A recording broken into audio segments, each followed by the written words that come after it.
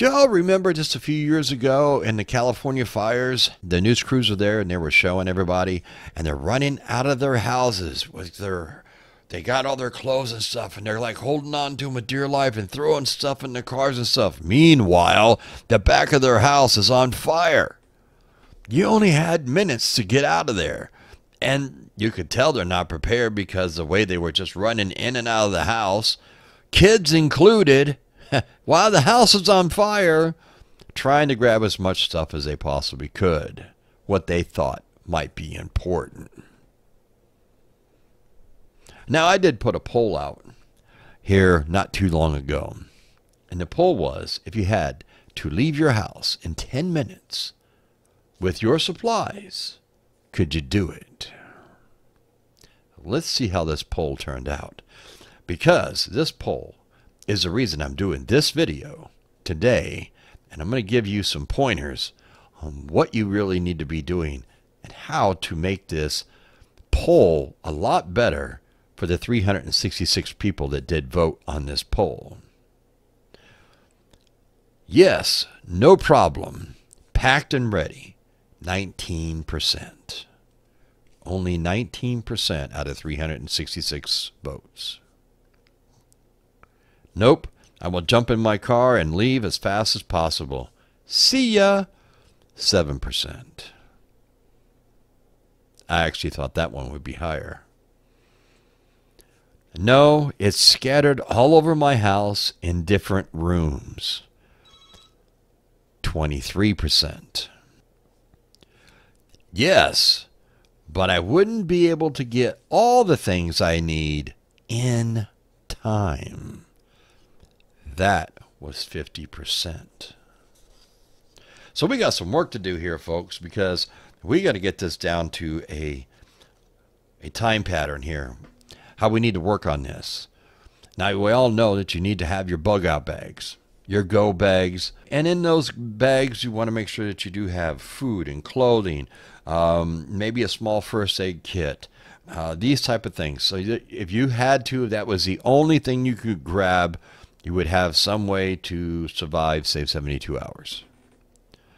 All right, that should be all in there, ready to go.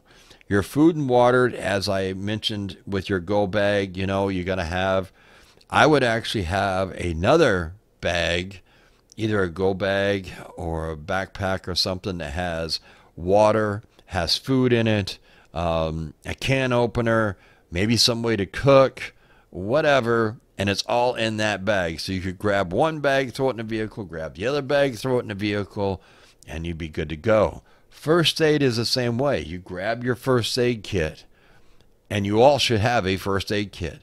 And these all should be either in a closet or in a room that is in the front of your house or by your garage or maybe in your garage, depending on where you live. If it doesn't get real hot, you can put it out in your garage. But with the heat dome that we've been having, you know, who's not hot? So you know, having it somewhere towards the front of the house makes it easy, accessible, so you can grab and go.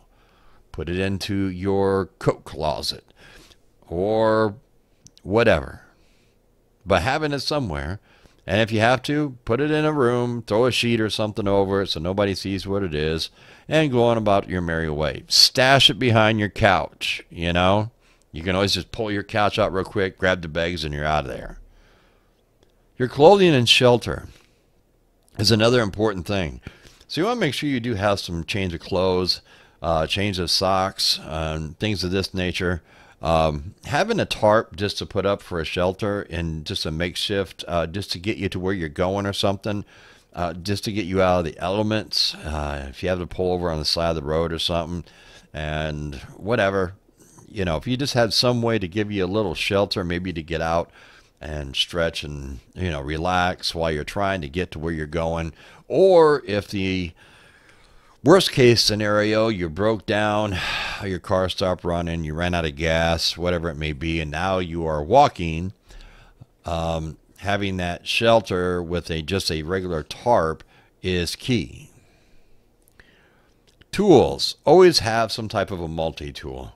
It can't hurt, doesn't take up that much room, doesn't weigh that much, but it could be a lifesaver. You know, a tool could be a multi tool, could be a knife, a small hatchet, a small saw, something like that that'll fit in one of your backpacks, and it not really that big.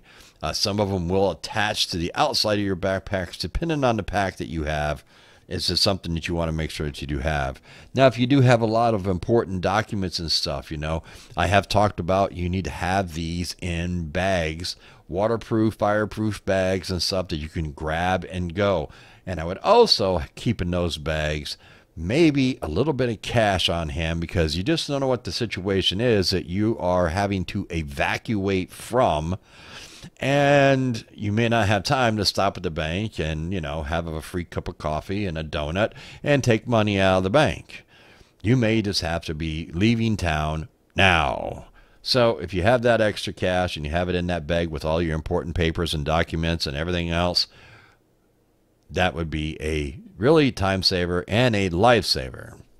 I would highly suggest backing everything up on a thumb drive and making sure that you know this way you document everything that's in your house especially if you're dealing with a fire a flood a hurricane a tornado whatever it may be uh, this way you have proof of what was in there because more than likely once the storm goes through you're not going to find it. It's going to be gone.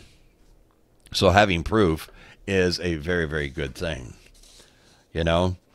And storage you know like i did say you know you need to Make sure that you are storing these items depending on like wherever you do live. It just depends on your climate. Um, and this way here, you could store these things right in your garage if it's not too hot. And then, you know, you store them in your house. And then maybe in the wintertime, if it doesn't get that cold or whatever, you can put them out into your garage. Or they're right there you know, you open the garage door and your car's right there, or maybe your car's even in the garage. Even better. But here's the point, folks. You got to practice this stuff. This is the key point. Practice makes perfect. Once in a while, see how long it takes you. Once you get your stuff all gathered and you get it all put together, which where it should be, it shouldn't be scattered all over your house. It should be all accessible. It should be all ready. And this way here, you can grab the things you have to grab and get them into your car, get your family loaded into your car, you know, and then get out of there. Time is of the essence. And we have seen that over time, these, some people, you, you just wonder how they still are alive because of what they've been doing. These folks that I'm talking about, and it was all over the news you know, the back of the house is burning down, it's on fire and everything else, and they're all running out the front door, kids included, and trying to carry out as much stuff as they can and cram it in a car before they took off. You know, personally, in that type of situation, the kids would be in the car. I'd be loading up all the bags and everything else that are ready to go. And, you know, I mean, with the fire, here's my thought you knew it was coming. Why did you wait? Why weren't you even prepared?